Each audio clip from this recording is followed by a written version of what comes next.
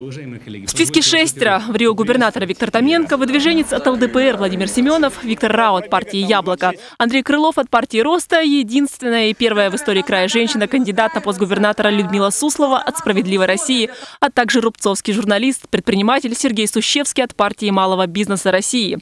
Все эти персоны документы на выдвижение в крайсберком сдали. Но ни один регистрацию в качестве кандидата пока не прошел. Для этого им нужно заручиться поддержкой местных депутатов и сельских глав собрать 534 подписи. Регистрация кандидатов, то есть непосредственных участников предвыборной гонки, начнется после 28 июля.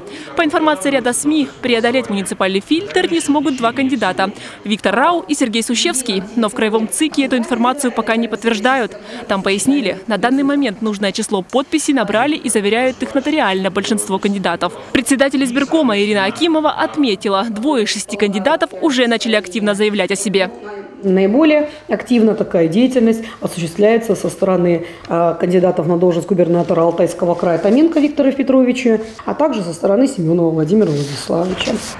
Лицо Виктора Томенко уже появилось на десятках баннеров и билбордов по всему Барнаулу. Сейчас в штабах кандидата, а их в крае почти 70, готовят к выпуску агитационной газеты и брошюры. Их уже на следующей неделе начнут распространять активисты. Правда, в штабе Томенко поясняют, главное оружие не агитматериал, а предвыборная программа. Ее формируют с учетом потребностей и интересов жителей края. Главный пункт в документе – развитие промышленной и аграрной сфер региона. Собрали более двух тысяч предложений. Вот сегодня мы их рассматривали.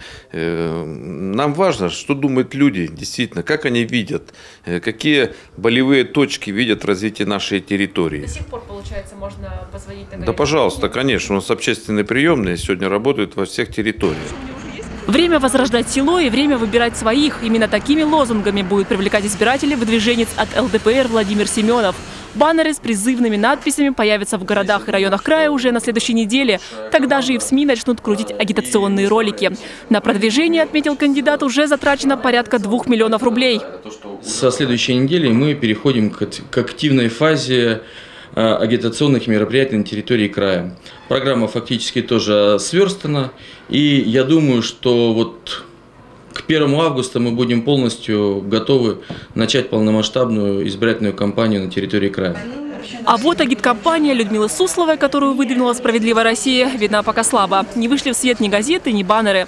В штабе нам пояснили, что ставку делают не на рекламу, а на прямой диалог с жителями региона. Массовые встречи с населением женщина-кандидат уже проводит. Вы, наверное, все знаете, что первое чтение в Госдуме уже как свершившийся факт.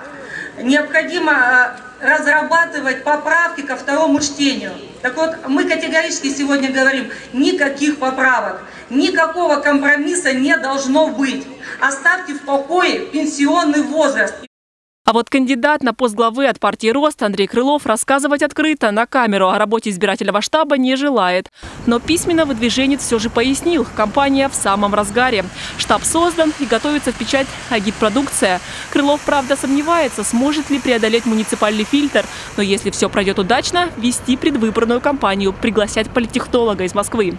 Основа предвыборной программы – совесть людская, которую совсем потеряли наши слуги народа. Думаю, о совести в программах другие кандидаты думают в последнюю очередь. А вот Виктор Рау и Сергей Сущевский, у кого меньше всего шансов быть зарегистрированными, от комментариев воздерживаются. Кого из кандидатов губернаторы края в итоге допустят на старт предвыборной гонки, край избирком официально объявит 7 августа. И тогда начнется самая острая борьба. Завершится она 9 сентября в единый день голосования.